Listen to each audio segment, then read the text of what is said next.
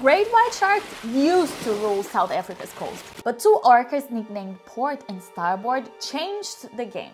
These two have a taste for shark liver, which is rich in fat and easy to get if you're a killer whale with skills. Since they showed up, white sharks started vanishing from False Bay.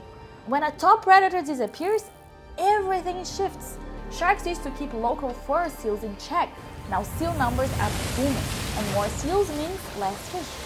Meanwhile, sevengill sharks are moving in, competing for food and hunting smaller sharks. So baby sharks and small fish getting wiped out. It's called a trophic cascade. One change at the top and the whole food web reacts. Scientists watch this shift over 20 years. Now, False Bay's ecosystem looks totally different.